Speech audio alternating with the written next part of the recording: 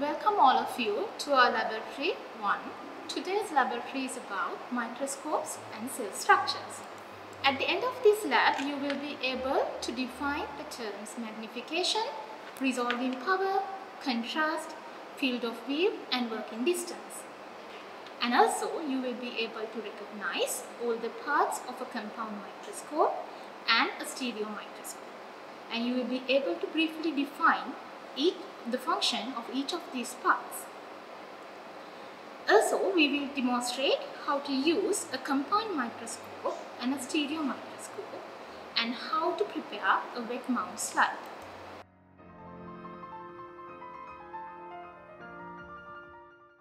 Next part is microscope. For this, you can see the video. You need to carefully go through this video to understand each part of microscope and how to use it.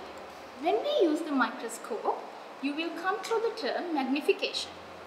What is magnification? Magnification is how much a size of an object is increased when you look through a microscope. So if you see the 4x, you know that in a microscope you have two lenses, eyepiece and an objective. In the eyepiece and objective, there is a magnification power embedded on that lens. If you look through the 4x magnification, that means the object is, the size of the object is increased 4 times. And if you use the 40x magnification, that means the size of the object is increased 40 times than the actual size. The next term that you will come through when you go through the video is resolving power. Resolving power is the ability of the microscope to produce separate images of objects that are too closely together. For example, if you see two dots placed together very closely and if you look through the eyepiece and if you see images that overlaps, that means the resolving power is not good. So if you can see these two dots separately without any overlaps, that means the uh, resolving power of that microscope is very good. Another term that you will come through when you look the video is field of view. Field of view is the area you see when you look through the microscope. For the next part, we will, you need to look the video to learn how to use the compound microscope and also the stereo microscope.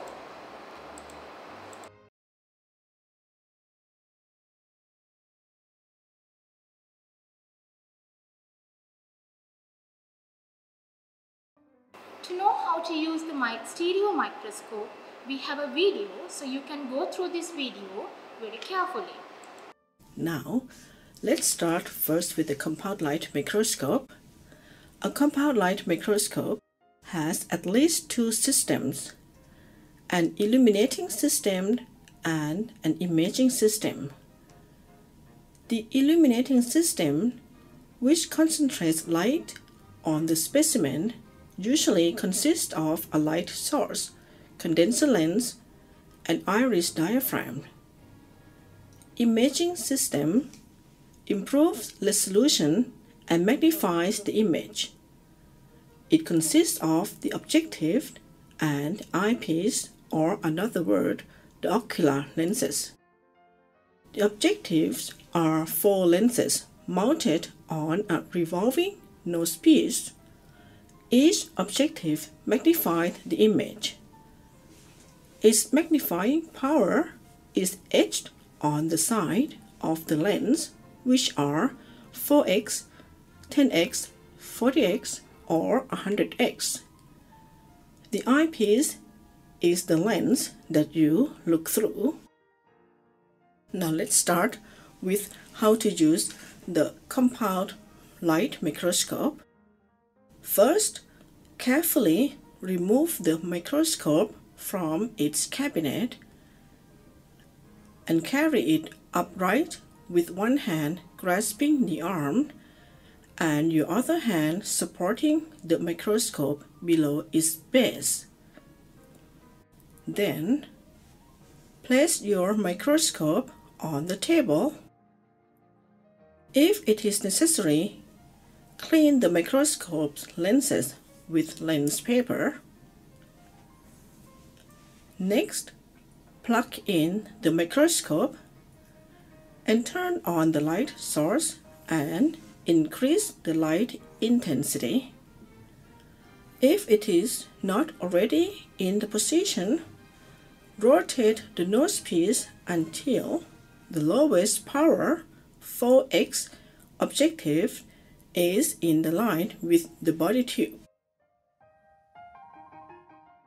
The compound microscope provided in Mae Fah Luang University Biology Laboratory was designed by the manufacturer to have an additional condenser lens.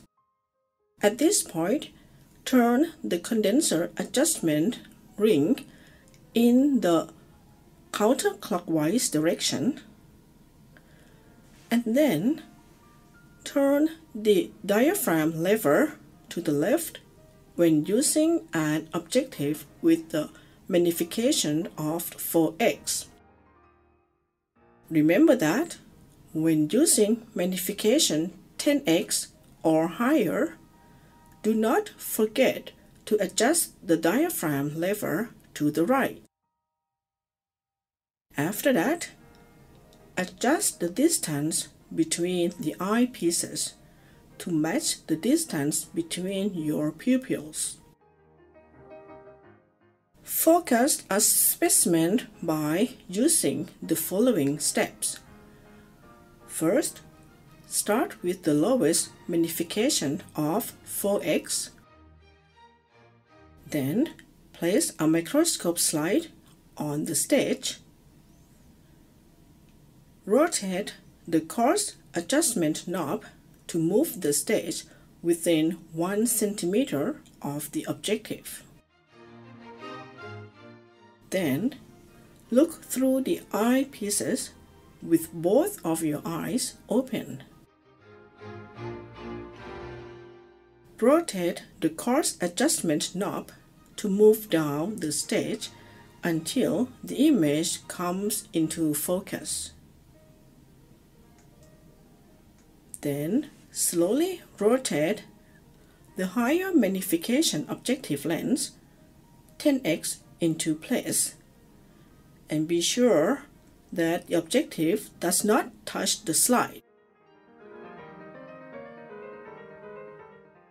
Find focus the image by only turning the fine adjustment knob.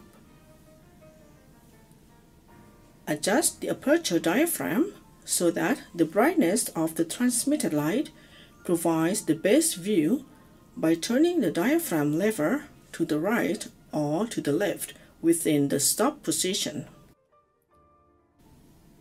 At the end of your exercise, make sure that the lowest power objective lens 4x is in the right position.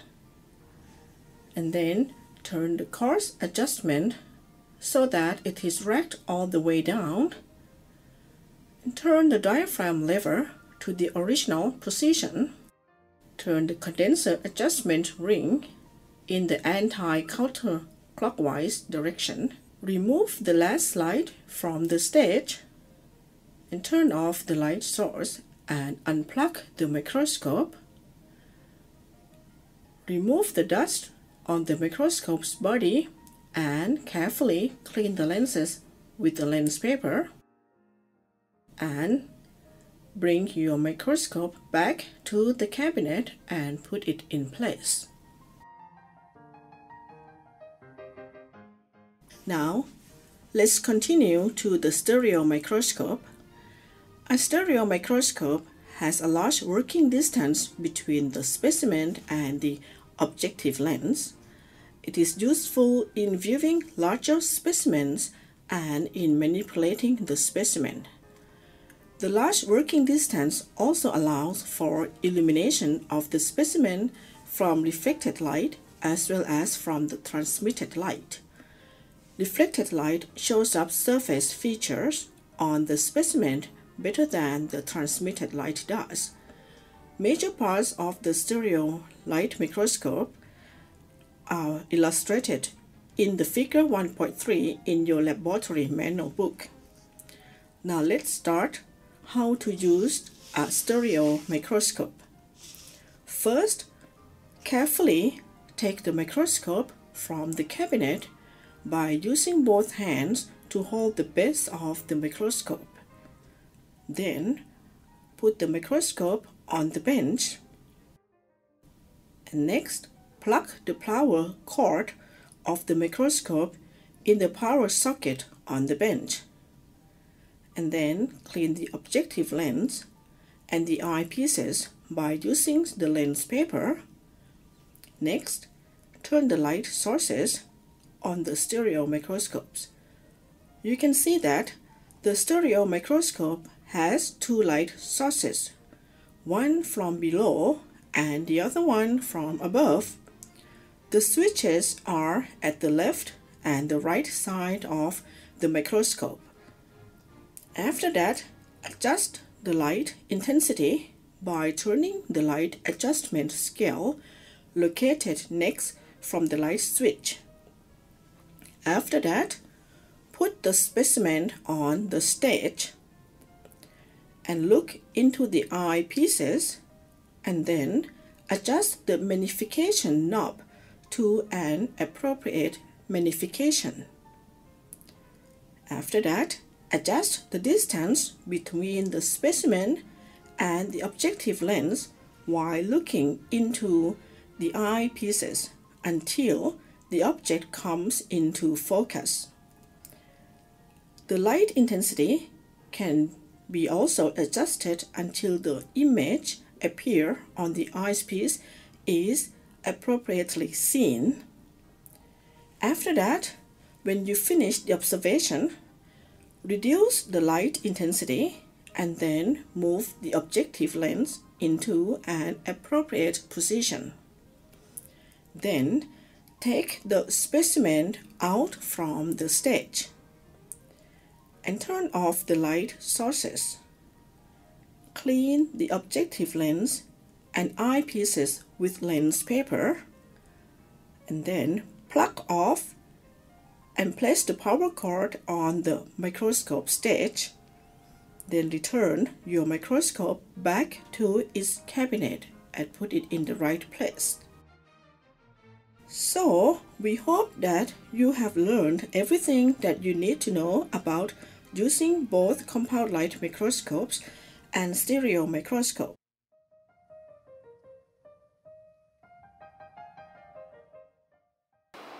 So when you look through the microscope, you need to understand that what you will see is an increased image of the uh, object.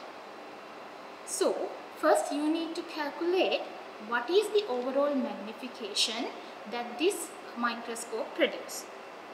For that, you need to know the magnification of the eyepiece microscope, eyepiece lens and also the magnification of the objective lens. So the overall magnification will be the magnification of the eyepiece lens multiplied by the magnification of the objective lens. For these magnification powers, to know what is the magnification, you can see on the eyepiece and the objective lens. The, the magnification power is embedded on these lenses. We need to know how to measure the field of view. We measure the field of view with the ocular micrometer. You can see this inside the eyepiece lens. To do this, first we need to calibrate the ocular micrometer with the stage micrometer.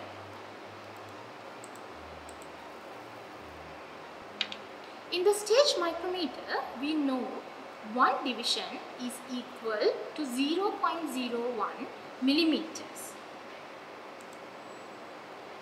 The first thing you need to do is you need to start by aligning the zeros of the lines of the two micrometers. And then you need to look at which place the two lines overlaps exactly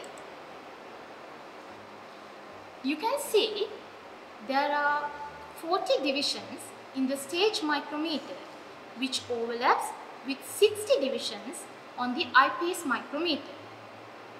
The 40 divisions in the stage micrometer, you know that one division on the stage micrometer is equal to 0.01 millimeters.